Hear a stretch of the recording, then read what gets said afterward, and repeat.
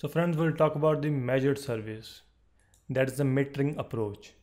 Here I'll discuss about the resource usage of computing environment. I would say that most of the IT companies do not follow the standard practice of calculating or checking the resource usage. Okay, so they take it very lightly. They think that it is not a big deal. They can do it at later stage because uh, actually IT is very complex and rigid like we've discussed in the initial chapters.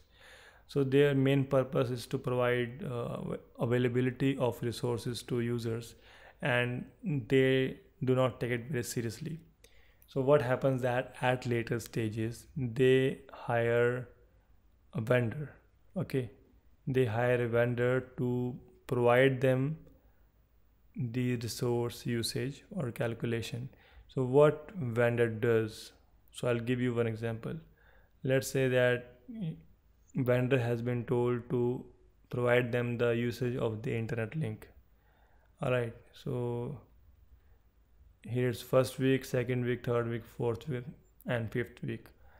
The internet utilization of the first week remains here second week's here and on the fourth week it goes to 40 mbps and on the other week it remained under 10 mbps okay? So vendor says that your utilization of the link is going to 40 mbps so better have the link capacity uh, at least till that level so that you do not face any problem. So this is kind this is the kind of measurement for them. So IT manager deploys 40 mbps but uh, friends did you notice that the real utilization of the link remained below below 10 mbps? So ultimately the IT company is paying for 40 mbps circuit even though they did not need it all right so they are not able to evaluate the proper uh, or you can say they are not able to do the proper measurement of the resources computing resources and what happens in case of cloud environment? Let's take let's talk about it. In the cloud environment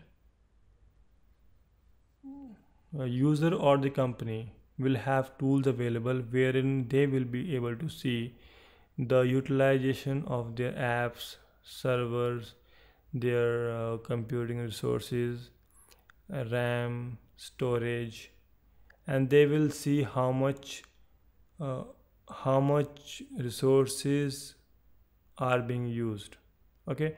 For example if the ram has been has been going from 10 GB till 20 GB so probably you'll be able to plan it well.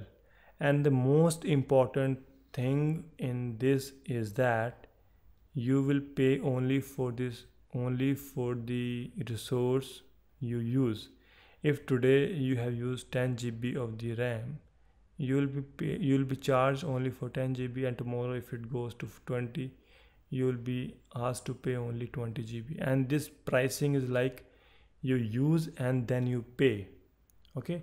But in this environment you have to ask the service provider to provide you 40 mbps circuit and you have to make initial payment okay so you can say you can simply see that the measurement is not proper here but it is very well here. And if customers or clients have the proper uh, proper idea about the consumption of resources that would consequently help the cloud provider as well. Cloud provider will install better resources like he will be able to uh, increase the storage capacity the internet link utilization the ram hard disks applications licenses and many more things. So cloud computing environment provides you better measured service as compared to traditional IT environment. So i hope that it's been informative to you. Thank you